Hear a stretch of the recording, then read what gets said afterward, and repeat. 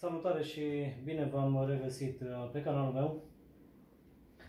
Este o perioadă destul de lungă de când uh, nu am mai postat ceva, pentru că în ultima vreme nu, nu permite efectiv timpul să, să mai fac filmări sau să mai prezint ceva, nici măcar pe pagina mea nu am mai postat uh, sau pe grupurile din care fac parte de Facebook. Nu prea mai postat mare lucru pentru că efectiv lucrez în două direcții și nu-mi permite timpul.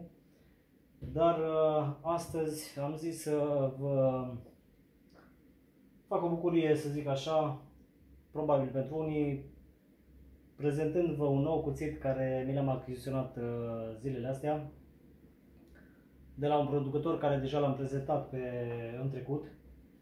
Însă este un alt tip de oțel, altă discuție și am zis să fac despachetarea și prezentarea lui împreună cu voi pentru că nu e așa, știu că vă place, știu că vă pasionează și numai bine mai aflați și voi ce mai uh, vând japonezii, la ce prețuri, ce mai diferă, ce nu mai diferă, ce e bun, ce nu e bun și așa mai departe. Așa că, să nu mai pierd vremea, astăzi vom sta de vorbă despre, uh, din nou, un producător, așa cum am zis, pe care l-am mai prezentat, este vorba de Tsune Isa. Uh, din nou avem un Gyuto, L-am primit uh, cu câteva zile în urmă, dar nu am avut timp efectiv de el. Îl voi despacheta împreună cu voi. Îi voi face prezentare. Și vedem Vedem ce anume este diferit față de ultimul care l-am prezentat uh, mai devreme, mai cu ceva timp în urmă, adică pentru cei care ați văzut, știți, sau cei care n-ați văzut, uh, căutați pe canalul meu. Uh, am prezentat acest cuțit de la Tsune Isa din oțel Aogami Super sau Super Glue, cum vreți să mai ziceți. Este cumpărată lama fără mâner, mânerul este făcut pe comandă uh, și mai sunt și câteva alte filmări cu un lucru cu acest cuțit. Iar astăzi vă prezint în ghilimele fratele lui.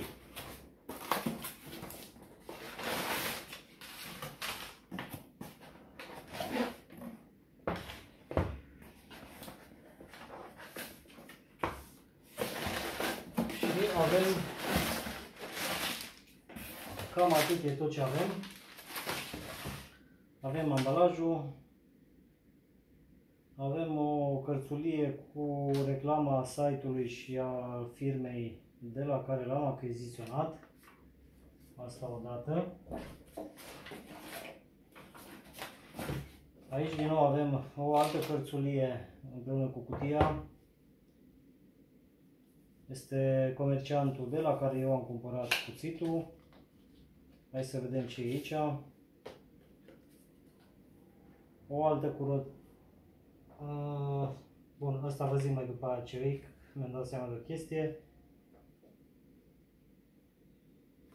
O cărțulie cu faptul, cu verificările care au, le-au făcut ei în privința acestui cuțit. Au verificat profilul au verificat uh, ascuțirea, dacă este ascuțit sau nu, au verificat mânerul și au verificat dreptatea lamei. Bun, uh, asta pentru că în primul rând le-am cerut eu adițional uh, într-un mail să facă niște verificări suplimentare în funcție de ceea ce mă interesează pe mine. Pe partea asta avem niște instrucțiuni despre ce să nu tai cu el, despre faptul că nu, e, nu trebuie să-l bagi la mașină de spălat vase. Îți recomandă să folosești tipul de ascuțire potrivită, în cazul de față pietrele de ascuțit și, mă rog, un uh, QR cod, probabil cu site-ul lor, mă rog. Aici o cărțulie cu despre cum să câștigi un cuțit de la Kurosaki, Yu Kurosaki. Pentru cunoscători știți cine este Yu Kurosaki, un alt uh, meșter japonez. Și pe spate zice cum să câștigi un cuțit Yu Kurosaki, Senko, model Senko, adică astea din uh, poza de aici. Și îți spune să postezi o fotografie sau un video pe, cu cuțitul nou, uh, nou achiziționat de la ei, să le dai tag pe site-ul lor, să le dai follow, să te abonezi la newsletterul lor și îți dă un tip, poți să faci mai multe postări multiple ca să-ți mărești șansele. Deci poți să faci mai multe postări cu prezentarea produsului care le-ai cumpărat de la ei, uh, urmând acești pași și ești eligibil ca să uh, potențial eligibil să câștigi un cuțit de la Yu Kurosaki. Foarte drăguț din partea lor, de apreciat. Bun, și aici nu mai avem, ba mai avem ceva. și știu ce e. La fel ca și alți comercianți, la aceste tipuri de cuțite performante și foarte, foarte ascuțite, uh, este al doilea comerciant care îmi trimite un plasture în caz că te tai cu el să poți să te bandajezi.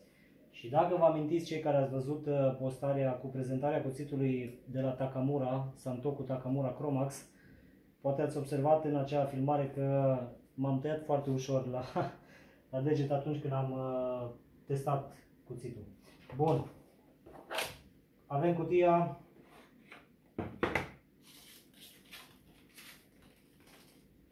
Avem cuțitul. Uh, evident, uh, marcajul probabil al uh, brandului sau al producătorului, cum vreți să ziceți. Aici lipsește ceva, că trebuia să fie o folie de... Aha! Am scos-o cu totul. Mi-amintesc că la celălalt cuțit am mai avut tot de la Tunix, am avut îmbrăcămintea asta, de aia mi s-a părut ciudat că nu este, dar era înăuntru. Și avem cuțitul. Înainte să încep să vorbesc despre el, am să vi-l arăt mai de aproape.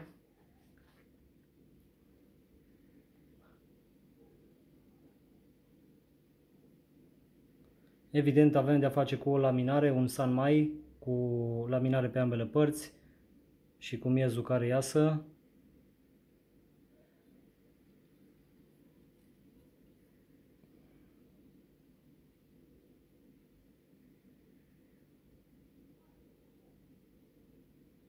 După cum vedeți, avem de face cu un uh, finish de tip Tsuchime, adică acel ciocănit. Pe partea de jumătate a lamei în sus, spre coamă, pe partea dinspre jos avem un uh, finish de tip cu, uh, curuci, pardon, doamne că nu mai știu cum îi zice, îmi și scap acum, mă rog, nu e atât de relevant. Foarte frumos modelul de laminare de-a lungul lamei.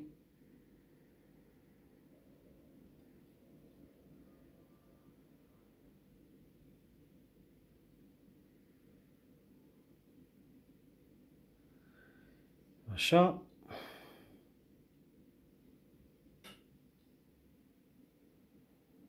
Și avem un mâner din lemn de cireș cu o ferulă care nu mai știu exact din ce este și uh, marcajul, sper că l-ați observat aici în zona asta. Iar ca idee, comparativ cu celălalt, după cum vedeți, avem de a face cu aproape același tip de finish identic, cu excepția faptului că ăsta este curucii Tsuchime, adică ciocănitul Tsuchime și curucii uh, înnegrit, spre deosebire de cel din mâna dreaptă, adică ăsta de astăzi, care este, nu este acel finish negru cu rucii. În rest, uh, modelul de ciocăneală este aproape, aproape identic. Deci avem același cuțit, diferă doar uh, tipul de oțel. Și mânerul, evident, pentru că ăsta a fost făcut pe comandă. Am cumpărat lama fără, fără mâner. Bun, hai să vorbim de dimensiuni sau hai să vorbim de oțel. Dacă aici avem uh, Aogami Super sau Super Blue, cum vreți să mai ziceți, la acesta de astăzi avem de-a face cu un Shirogami 2, cunoscătorii știți uh, ce este. Uh, cu laminare am zis, uh, stânga-dreapta, cuțit uh, pentru ambele variante, fie că e stângaci, fie că ești detaci, are tăiș uh, dublu pe ambele părți. Am o, avem o lungime de 210 mm promovat, cu toate că am să-l măsor să vedem cât are această lamă de la călcâi la vârf. Și spre fericirea mea avem 215 mm, adică cu jumătate de centimetru mai mult, la lungime. Uh, coama ar trebui să fie undeva la 2 mm, 2 și 10 da, avem 2 și 16 mm pe coamă deasupra de călcâi. Și se cam păstrează aceeași... Depinde unde prinzi cu măsurătoarea, pentru că datorită acestui uh, finish ciocănit sunt valuri și depinde unde îl măsori. Dar în principiu cam tot acolo e undeva la 2,20, 2,17, 2,16 și merge constant până în zona dinspre vârf unde începe să se subțieze până la un maxim de Bine, la un centimetru de vârf are 0,05 iar mai spre vârf deja avem undeva la 0,25. Bun. Avem o lățime de, ar trebui, lățime, înălțime, cum vreți să ziceți, 46 de milimetri, exact așa cum se promovează. Nu mai știu ăsta dacă avea la fel. În teorie ar trebui să fie la fel. Da, tot 46 și ăsta. Deci, practic, ei sunt frați din același producători, cu excepția uh, tipului de oțel, da? Aogami Super și Rogami 2. Și, bineînțeles, a mânerului, care deja am zis din ce este, uh, care așa l-am cumpărat față de acesta care l-am uh, făcut pe comandă. Bun, uh, hai să verific și dreptatea lamei. Să văd dacă este ok. Și da, văd că este destul de dreaptă.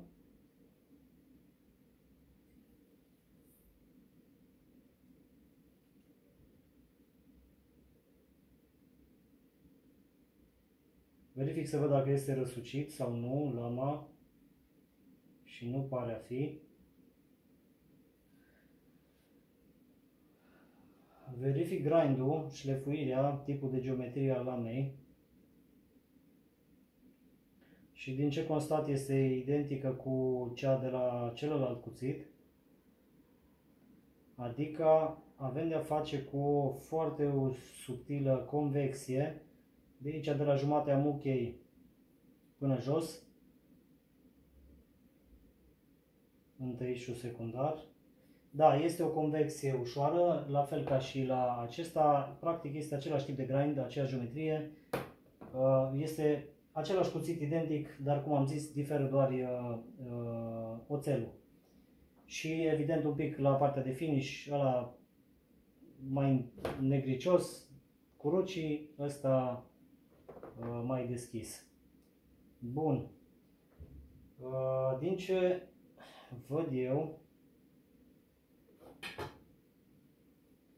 o chestie care s-ar putea să nu vă placă este faptul că în zona de coamă nu este atât de rotunjit sau finisat precum ar trebui sau precum mi-aș dori eu. La fel este și în zona asta aici unde nu are gartă. Și văd că este cam la fel și la ăsta. Ăsta pare un pic mai finisat aici în partea asta, e mai ok. În schimb, la coamă, dacă îl ții evident așa în priza asta, cu excepția cazului în care nu ai obiceiul să-l ții așa sau mai știu cum, la o îndelungă utilizare și uh, mai ales dacă ești bucătar, da, probabil că la un moment dat vei simți aici marginea asta în priza asta, dar se poate șlefui cu un pic de șmirglu și nu ar trebui să fie o problemă. Bun. Uh, am zis că este și Rogami 3. Am spus dimensiunile, hai să vedem cât are și mânerul, că am uitat să mână, uit, ar trebui să aibă 128, undeva 127 de mm mânerul. Da, 127-80, deci avem 13, aproape 13 cm din uh, lungime mâner. Avem o duritate la el de 61 pe scara Rockwell,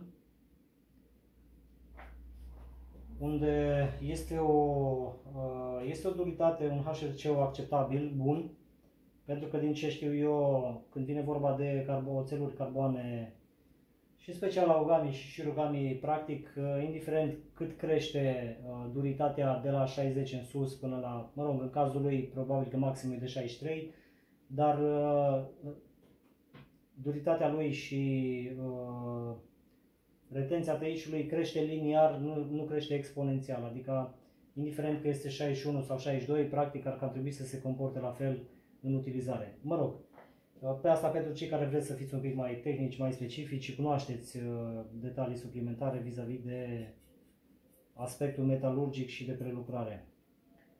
61 uh, HRC este un, uh, o duritate ok, potrivită, nu-l face nici mai casant, nici mai puțin casant, față de un 60, în teorie, din ce știu, sper să nu vorbesc prostii, dar este ok. Bun, ca să nu lungesc prea mult, cei care sunteți curioși, uh, vizionați ambele uh, uh, filmări, primul cu acesta din Augami Super și după care ăsta sau indiferent cum vreți, cam aceeași chestie ar trebui să fie. Ar, în momentul ăsta ar avea o relevanță pentru mine tăișu dacă uh, le-aș ascuți eu pe aceeași piatră de aceeași granulație, ca să-mi fac o idee, să-l testez, să nu știu ce. Oricum voi reveni cu o filmare probabil când îl voi ascuți și la un feedback suplimentar de comparație între cele două. Pentru că ăsta deja l-am uh, lucrat puțin, l-am subțiat în spatele lamei, în spatele teișului, l-am terminat pe o anumită piatră, dar ca idee ăsta pare a fi la fel de ascuțit ca și celălalt atunci când l-am cumpărat nou și cu siguranță este, nu mă îndoiesc că, că va tăia. Sub nicio formă, pentru că îl simt ascuțit. Foarte ascuțit vine de producător. Ce am observat este că e ascuțit la un unghi foarte, foarte acut. Probabil pe la un maxim de 15 grade. Da, cam acolo. Este ascuțit la fel ca și celălalt. Uh, de curiozitate aș vrea să-l dau un pic pe stropul de piele ca să văd dacă simt o diferență.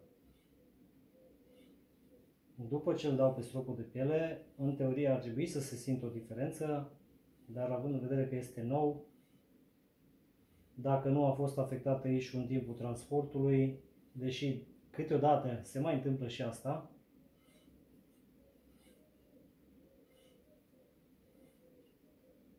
Totuși ar trebui să simt o diferență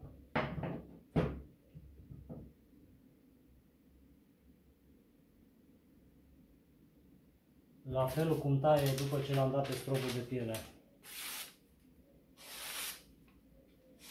Și da, într-adevăr, se vede imediat beneficiul stropului de piele și este, l-am dat pe pielea fără niciun fel de pasta abrazivă. Dar haideți de curiozitate să facem și un test de tăiere mai, mai, mai pe legume ca să vedem și cum taie jucăria asta. Hai să începem cu un castravete.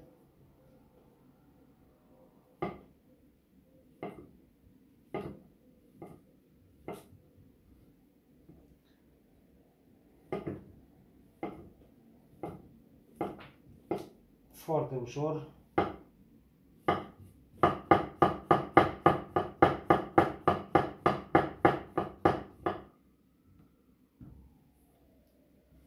Foarte frumușel. Hai să vedem cum se comportă și la un cartof dulce.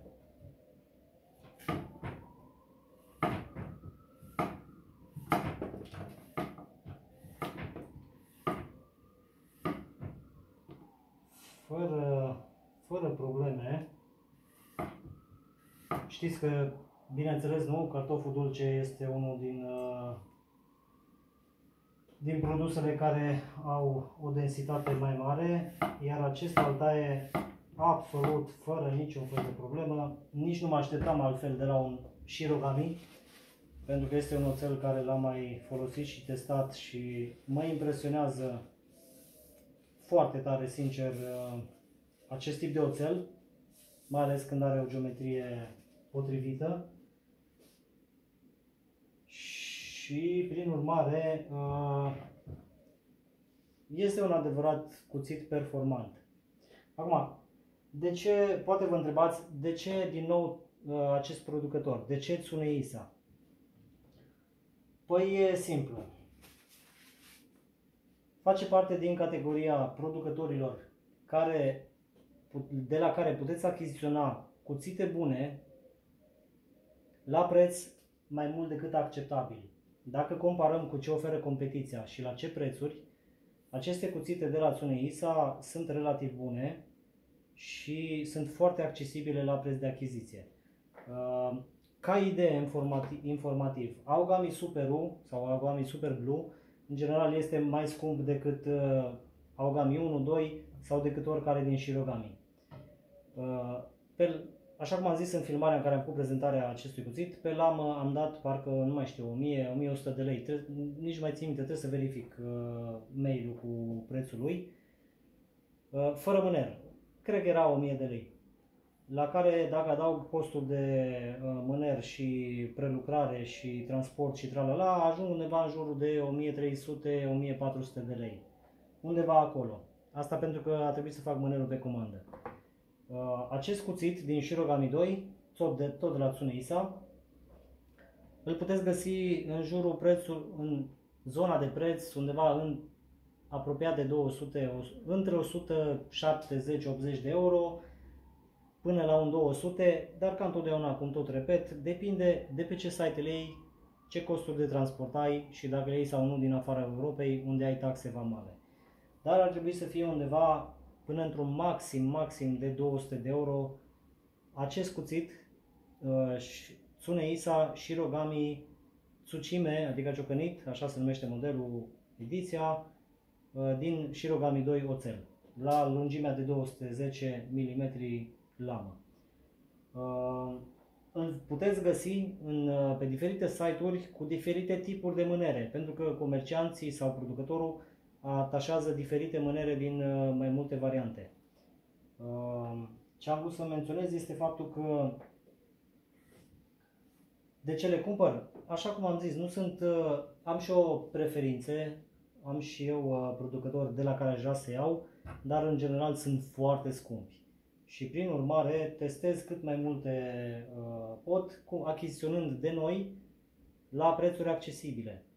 Uh, din experiența de mai devreme cu acest cuțit și acum cu ăsta, acum, adică va trebui să-l și utilizez, probabil, nu sunt sigur, o vreme, dar fiind familiarizat cu oțelurile astea, uh, cu siguranță pot să zic cu căldură și încredere că sunt cuțite bune la prețul ăsta de achiziție, bunicele, depinde ce înseamnă bun pentru tine sau pentru altul, dar uh, pentru preț de achiziție din zona asta de până 200 de euro sunt ok.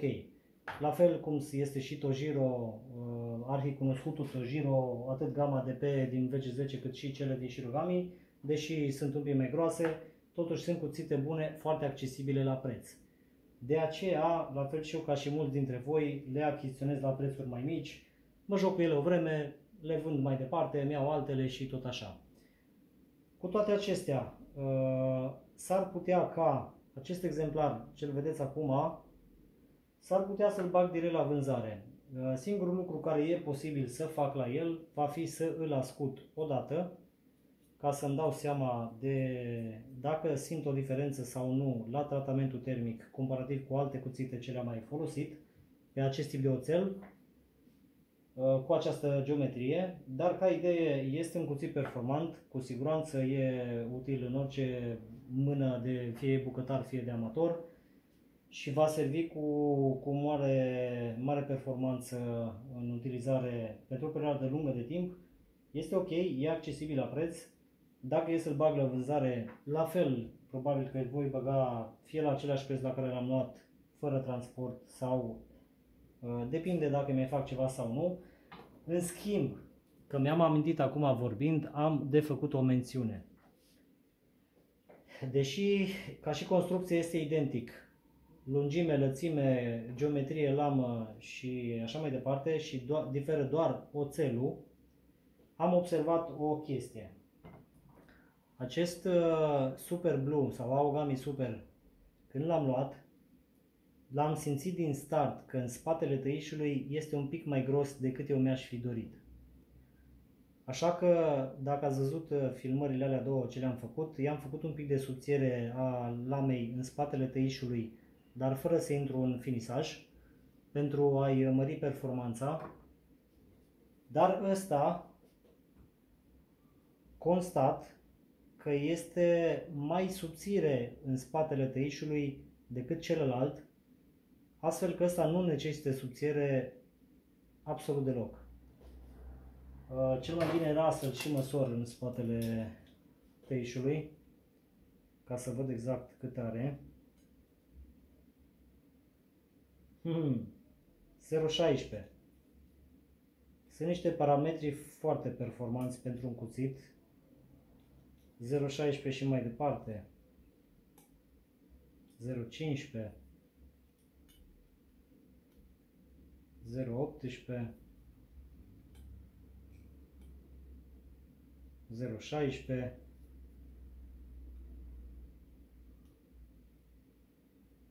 la fel 016 Opa. 0,15. Bun. Uh, celălalt, adică ăsta, avea undeva la 0,30 în spatele grosime, 0,30 mm în spatele tăișului. Adică era un pic mai gros. De aceea am făcut un pic de subțiere pentru a-i mări performanța. Ăsta, după cum constat, nu necesită, este perfect. Și atunci uh, n-am ce să-i modific, nu am ce să-i fac, este așa cum este el, este perfect pentru utilizare.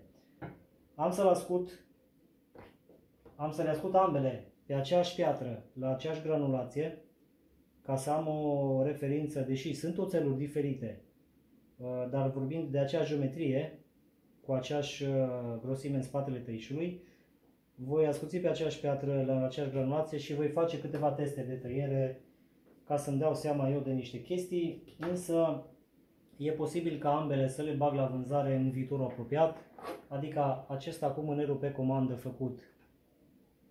Fie la 1200 de lei, fie la 1300 de lei, nu știu, în funcție de cum voi considera la moment, uh, care și de, ca și idee, de când am luat și până acum, e folosit probabil de 3 sau de 4 ori și tot așa, tăiat câteva chestii doar pentru testare.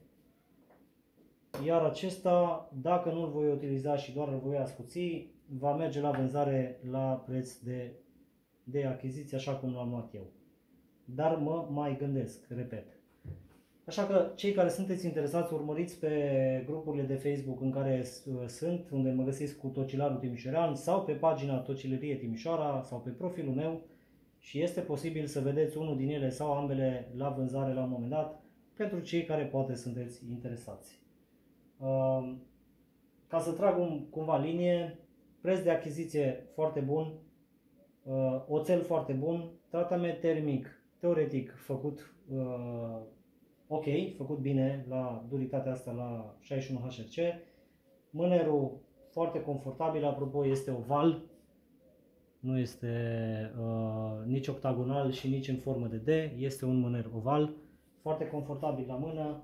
El ar trebui să aibă un pic la o greutate undeva la 116 grame, dar nu am la îndemână acum uh, cântarul ca să-l măsor. Punctul de balans după cum vedeți, este aici, da? Pentru prinderea corespunzătoare, deci este foarte ok. Am zis că are cu 50 de, centim, 50 de mm sau 0,5 cm mai lung decât uh, se promovează, adică acest exemplar are o lungime un pic mai mare. Nu mi amintesc dacă și ăsta la alt are un plus de de lungime față de 210 cât se promovează. Dar da, într-adevăr și ăsta are de la călcâi măsurat numai puțin.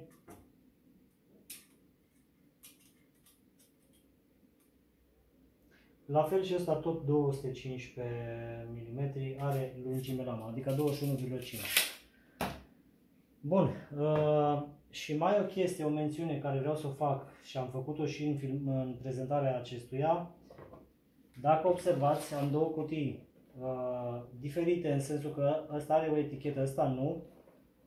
În cealaltă filmare am spus că brandul, pentru că Tsuneisa este un brand, Hokiyama este fabrica sau atelierul unde ele se produc și sunt diferiți uh, fierari care lucrează la acest brand în acel atelier.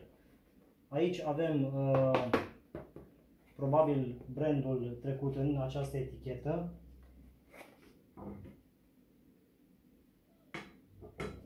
Și anume Tsuneisa, pentru că el este promovat ca Tsuneisa, spre deosebire de acesta care este promovat ca fiind uh, fie Hokiyama, fie Harukaze. În cazul lui de față, Hokiyama este fabrica, Harukaze este fierarul care l-a făcut dar mai mult ca sigur, același fierar a făcut, sau nu neapărat același fierar, dar uh, în aceeași fabrică Hokiyama s-a făcut și acesta sub brandul Tsuneisa. De aceea veți vedea, cum am mai zis, în uh, diferite site-uri mai multe denumiri ale aceeași cuțit care este sub, de fapt, același brand de Tsuneisa și atunci diferă cutiile ambalajul. Apropo, am uitat să vă arăt aici, pe lateralul cutiei, acesta este cuțitul și modelul. Tsuneisa Shirogami Tsuchime Migaki Gyuto 21 de cm. Bineînțeles, aici nu știu ce vrea să fie, dar Tsuchime e așa, SH2 e Shirogami 2, probabil 21 e lungimea lamei, GI Gyuto, mă rog, ați prins ideea, altă inscripție nu are cutia decât aici și aici. Bun, e lungă și această filmare, v-am ținut iară destul, dar măcar uh, aveți o informație în plus care poate vă ajută să vă alegeți mai departe un cuțit sau nu. Așa că dacă v-a plăcut uh, filmarea, dacă aveți întrebări în comentarii, vă rog un like la, uh, la video, un share și la cât mai multe vizionări și la cât mai multe prezentări, nu așa? Bun, pentru astăzi am încheiat, ne vedem în următoarea filmare care nu știu când va fi, pentru că așa cum am zis, în perioada asta până prin octombrie, posibil noiembrie, vor fi mai puține filmări, pentru că nu am vreme. Sănătate, numai bine!